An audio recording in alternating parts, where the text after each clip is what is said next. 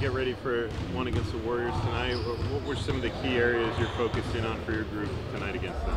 Uh, our area of focus was more game planning, uh, understanding Steph and Klay and what they're capable of doing uh, at any given time throughout a game, knowing you're not going to stop guys like that, but you just have to make their jobs difficult, that it's a team effort, uh, not just one guy guarding them, uh, and also the other playmaking that these other guys make throughout the game, and how they have you know three or four guys playing very good basketball right now. Your guys have you know seen Steph a few times now, probably in, in their over the course of their career. But how much do you have to get used and accustomed to like this guy's going to hit a 30 yeah. shot at some point and you just have to go and accept the next play. Well, that's the poise you have to have in playing against them because they're going to hit shots that aren't quote unquote normal. Um, he's he's shooting four pointers and five pointers, and and so your ability to just recognize what he's doing when he's doing it, and you got to tip your hat in those situations and continue to make it as difficult as you can without fouling them. But just know, keep the poise and get go down on the other end and make it hard for them to guard us as well The fact that Golden State played last night in Miami, you guys haven't played in a few days, is that an advantage at all, or does it not really matter? We will find out at 7 o'clock tonight. What, what, was the status of Caleb and Gary? Uh, Caleb's going to go through a little shooting to, uh, right now to see how he feels, and then Gary is not available tonight. You're looking halfway through this eight-game homestand. I know it's kind of like a quirk in the schedule, but what, what have you seen from the team through the first four games? What do you want to see in, in this back half of the homestand before you hit, the, hit that final stretch? Uh, just continued energy, uh, focusing on our game plan night in and night out, and I think the more we can continue to look at it as as one game series, that's it, one game at a time, uh, making sure that we focus in on the game plan, continue to get better at what we do. Uh, obviously, the opponent they matter, but we have to make sure that we're focused on how we're continuing to get better. And over and over again, we'll say playing our best basketball in March and April.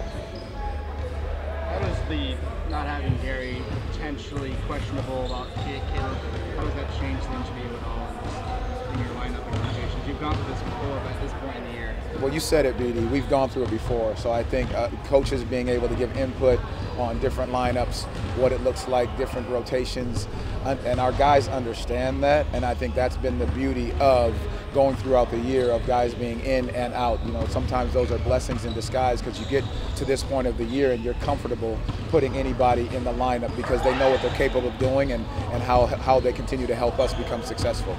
How much are you still thinking about or, or think, uh, experimenting a little bit with lineup and playing groups? I know you've been trying Jonathan Jonathan as kind of the backup center almost. Like at this point of the year, are you, are, are you are you still kind of experimenting with some playing groups and seeing seeing what might what might be feasible in the playoffs? Well, in this moment, it, it's happened because of injury, so you're forced to you know forced to tinker with some situations and different different lineups. But for the most part, you're looking at whatever the matchups you know present to you. I think we'll look at more and more so what what lineups do well against certain you know what certain defenses and certain offenses. We'll have to continue to take all that into consideration, uh, but not getting away from what we're capable of doing, no matter who we put out there.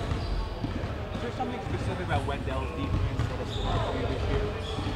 You know his ability to, to guard multiple positions. Uh, I think the other night was was great. You know watching him defend. You know with on Zion and, and then Valanciunas uh, and then mixing it up and being able to switch on the BI at times. Uh, I think his, his ability just to guard multiple players and multiple positions and really sit down and guard and not look for switches or, or you know someone to come change the matchup. Uh, and then he can bang with the bigs. I really think that it's such a unique quality that someone of his size and stature can move the way in which he does with a basketball IQ. Thank you guys. Appreciate you all. You know, what are the, the challenges for your group tonight and what you want to see them accomplish against the Warriors? Oh, this is exciting. This is exciting uh, to be playing meaningful basketball this time of year. Uh, not only will their games matter, but our games matter. Um, you know, it's different, you know, and I'm excited for it, as, as are we all. Um, I just think we have to be, you know, more attention to detail tonight, you know, than usual. Uh, you know, they play a different play style. You know, they got guys who get really hot and, you know, they have legends, you know, in this game, you know, in Steph, Klay, Draymond, we've seen everything that this sport can throw at you. Um, so I think really being locked in, uh, having attention to detail, and then just kind of withstanding runs, withstanding big shots, I think will be important for us tonight. Kind of along those lines, I can't imagine what it's like to guard Steph, but when you play, you know, high-end defense as, as much as you're capable of, and he still hits a a 30 footer like what kind of mentality do you have to have to, to be ready for that next play mentality um, you know and understanding that he's a great player um, you know one of the best at this game is seen and you know, I acknowledge that and I respect that. This is why I think I get so, you know, excited and uh, you know look forward to these matchups because this is, I think, a great test for me, not only myself, for us as a, for us as a team. You know, this is a team that wants to be in the playoffs, who's been in the playoffs. Uh, you know, who's going to get you know one of those spots this year, and uh, you know they're going to give us everything we got. Same thing that they just did to Miami last night. So, uh, yeah, really excited. You know, looking forward to the matchup and uh, you know looking forward to really at the end of the day getting a win. When you look at the last time you guys played them, it seemed like it was a very close battle, especially towards the end. What do you, have you guys learned maturity-wise from that first time you guys played them to now going ahead? Um, I think again, not overreacting to anything that's going on out there. You know, whether it's one of their runs where they hit a couple threes in a row or some tough shots. Um, kind of understanding, knowing what they're going to run, and staying disciplined enough to, to do the same thing over and over. You know, chase over the ball screens. You know, make sure that we're stunned, make sure that we're in gaps and uh, and locked in on that end of the ball. And then on offensive side, making sure that we're moving it. You know, making them move. Uh, you know, forcing actions, and I have making them guard. You know, multiple things in the possession. You know, I think having the discipline to do that over and over is what separates those teams. Uh, so I think that that's one thing that, that's on all of our minds, and um, you know, we've watched it. We've the last game. We've their games coming up. So you know, I think we're as prepared as can be. Now it's about going to execute. We have three games in the next four days. How tough is the stretch right now with 70 games under your belt? Um, it's always tough. Every game this time of year hurts a bit more. Um, you know, all, all those diving on the floor and little plays hurt a bit more. But I mean, you do it to be in this situation, you know, to be in a point where this does matter. You know, these games matter, and uh, you know, I think we're all excited. Everybody's competitive in this building. You know, from the players to the staff to the front office, everyone wants to win. You know, along with people in the city. You know, that's what they've been waiting for. So, you know, having everybody on that collective mission, on a collective mindset, um, you know, I think not only improves everybody's play, um, but helps us get better, helps us stay locked in. And, you know, I think that's what we felt this past couple days, and we're going to continue to uh, continue to do going into this three and four. I know you guys are kind of breaking the rest of the season down into kind of five game segments, but you're halfway through this homestand. What have you, what do you guys kind of gain from the first four games of this homestand? What do you want to do to finish finish this homestand before the, the road stretch at the end of the season? Uh, continue to win, continue to get better, um, continue to separate ourselves and, and cement ourselves in, in playoff play. I think is the, the ultimate goal.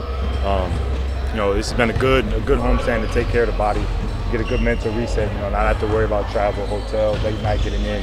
Um, you know, there's a lot of constants when you're home. You know, going from the practice facility to the crib, from games to the crib. Um, you know, it just makes everything a bit easier. Um, so really looking to take advantage while we're here. You know, and that we're getting this at the end of the season during this tough stretch. So um, yeah, really just capitalizing. In terms of trying to establish yourself, kind of yourselves as a playoff as a playoff team, how important were the games against New Orleans, Sacramento, and then these next two games coming up against the playoff caliber? Uh, all very important, uh, whether, whether we're playing playoff opponents or not. Um, you know, these, these games matter. Um, you know, and guys are looking to get better. You know, we're looking to continue to build a rhythm and a flow uh, going into that. Um, you know, because that's where we positioned ourselves. You know, I think it's cool. Um, you know, you want to be humble. You know, and you want to, you know, take it to the last game. You know, not say anything before it gets there, but you know, it's the reality of the situation that we're in. I think we'd be remiss, you know, not to accept that. You know, acknowledge that and, and use it not only as motivation, um, know, but you know, as joy, you know, as fuel, you know, to continue hooping, continue getting better. So, I'm um, really looking to just close this home stand off the right way, uh, continue to play good basketball, and uh, go get us another one. Jalen, you've obviously you know, played the Warriors many times before in your career, but tonight's obviously different with you guys being in the playoff run, the Warriors being in the playoff run. How much more special does it make tonight and the atmosphere at the? Um, the atmosphere in there has been great, regardless of the opponent, all year. Uh, so really excited just to play at home for one. Um, but two, like I said, just, just a good chance to continue practicing, you know, what we preach and what we work on in here every day. You know, and that's doing it against one of the highest level, you know, teams and players, uh, you know, this league has to offer. So, you know, really just more excitement than anything. You know, it might not seem like it, but, uh, you know, really excited, looking forward to this one and, uh, you know, ready to get out there, have fun with the boys, uh, you know, rock out and, you know, heat a curious and allow. Appreciate y'all.